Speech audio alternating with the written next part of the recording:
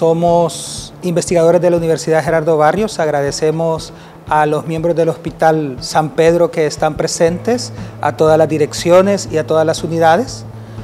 Como les dije, estamos eh, de la unidad de investigación, el licenciado Osmil Coreas, el director de la unidad, la licenciada Roxana eh, Gutiérrez, que fue colaboradora y investigadora activa durante esta recopilación de información y durante el año 2019, debido a los cambios en la política y que en los censos ya se podía medir lo que es el impacto psicológico de la violencia en el municipio de Usulután, nosotros quisimos colaborar con el hospital y medir el impacto de la violencia psicológica en el desarrollo de la niñez y adolescencia usuaria del Hospital San Pedro en Usulután, inicialmente durante el 2018 y el primer trimestre del 2019, pero a medida que íbamos ahondando en la investigación nos dimos cuenta que podíamos hacer no solo una muestra, sino que un censo debido a que eran 18 casos los atendidos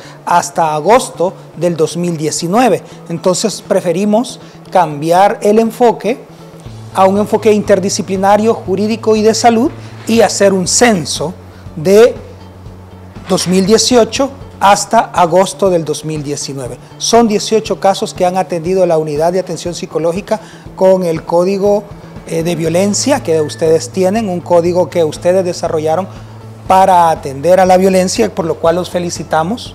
Creo que ese es el estándar que se va a tomar de ahora en adelante a nivel nacional para atender los casos de violencia. Una felicitación de verdad. Eh, qué bueno que estas buenas prácticas se estén proyectando y estén dando buenos resultados.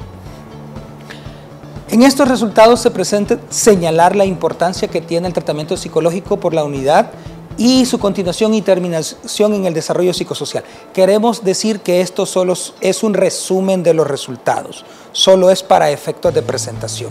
La investigación total tiene más de 109 páginas, de las cuales enviaremos eh, un informe en PDF, tal como lo solicitaron ustedes este mismo día, eh, por los correos electrónicos para que ustedes analicen poco a poco los datos. Los datos que aquí vamos a presentar solo son meramente presentativos, solo son un resumen pequeño, breve de todo lo que se ha hecho.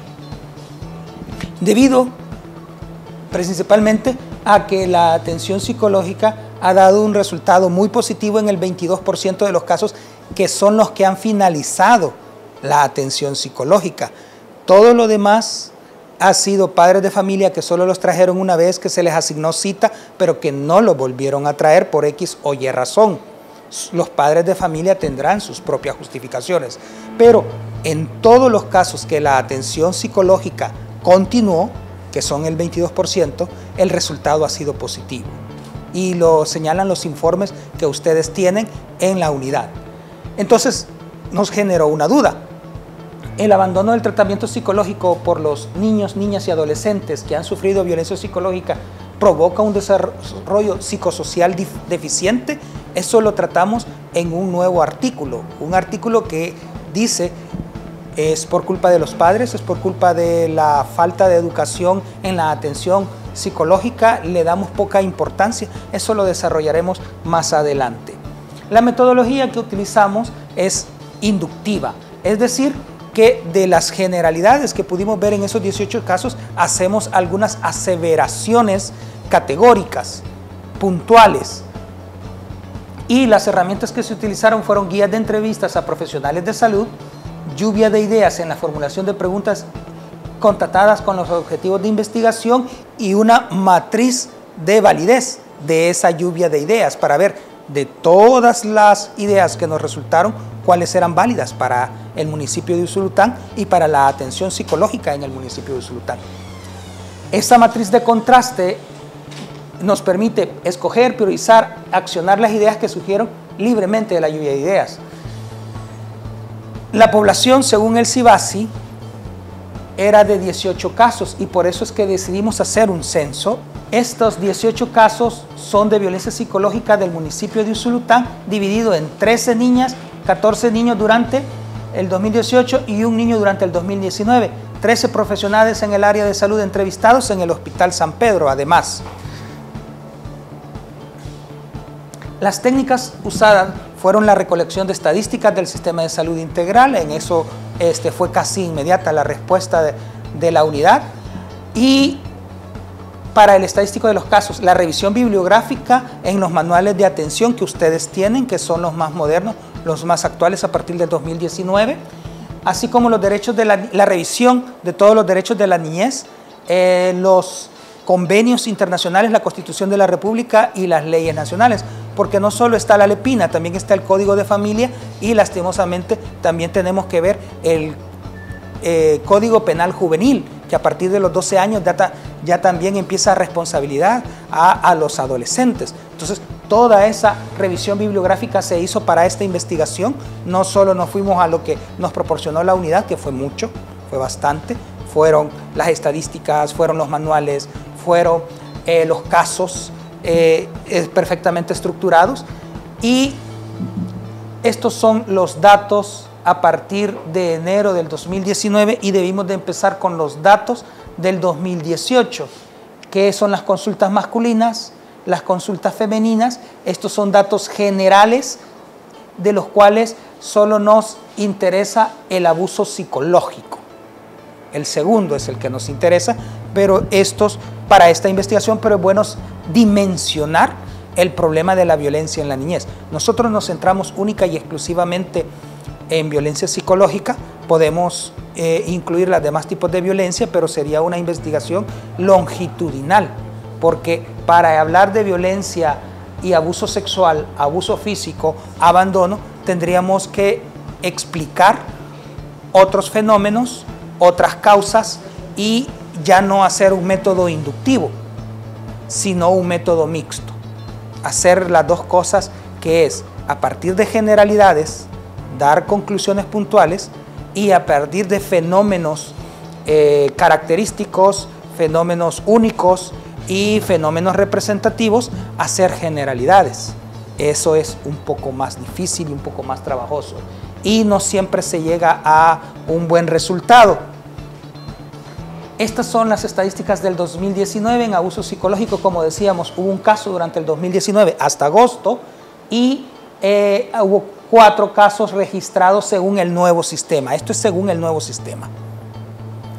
Va. Otra cosa que identificamos que queremos dinamizar es la identificación de perfiles de niños violentados. Hay con capacidades especiales, pero estos son no solo del municipio de Usulután, sino que se proyectan a toda la zona oriental. Hay de niñez violentada, niñez sin capacidades especiales, sino que los consideramos eh, con las características propias de la niñez, de adolescentes violentados en la zona oriental y de adolescentes con discapacidades especiales. Todos estos perfiles eh, fueron discutidos también incluso con los psicólogos y con el psiquiatra que nos atendió en la unidad y eh,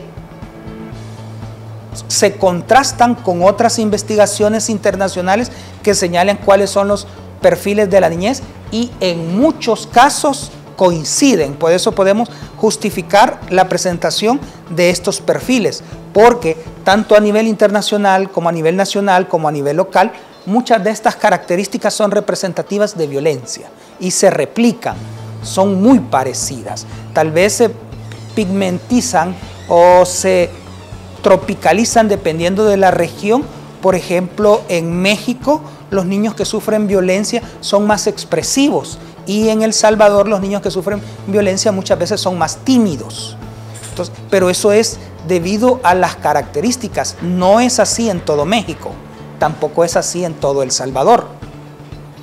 Se refleja más debido a las zonas en las que viven si viven más en las zonas urbanas, son mucho más dados a expresar y si viven más en las zonas rurales, son muchos más dados a interiorizar su sufrimiento. Eso es eh, las características propias de cada uno de los fenómenos que va a variar poco, pero no mucho. Bien, en conclusión, para no perder mucho tiempo, en el caso de la atención psicológica, uno de los factores que ayudó fue la dinámica familiar si los padres están concientizados y participan en la recuperación de sus niños, eh, va a haber una buena conclusión de la atención psicológica. Pero si no están eh, conscientes de la importancia de la atención psicológica, en 11 de los, de, los casos, eh, de los cuales ni siquiera en 5 de los casos se dio tratamiento, no hubo un final o una conclusión de la terapia psicológica y en cinco de los casos ni siquiera se tienen los datos de la siguiente visita. En tres de los casos no se evidencia eh, por el constante maltrato y en dos de los casos no se tiene seguimiento de los cuales no se puede inferir absolutamente nada. En el 16.67 de los casos, el maltratador es el padrastro. Esto rompe con el paradigma de que son los padres los mayores maltratadores.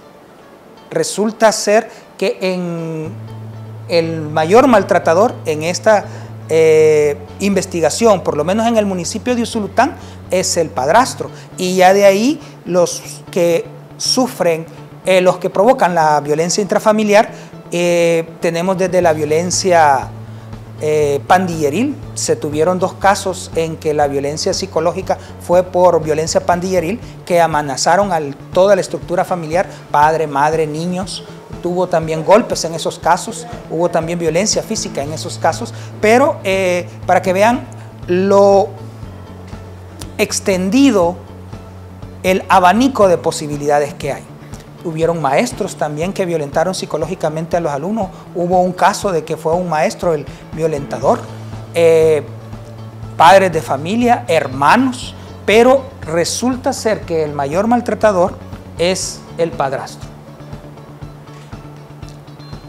y en la mayoría de los casos, los casos 3, 5, 9 y 13 de la lista que nosotros hicimos, porque en el informe pusimos caso 1, caso 2, caso 3, caso 4, sin identificar es el número de expediente.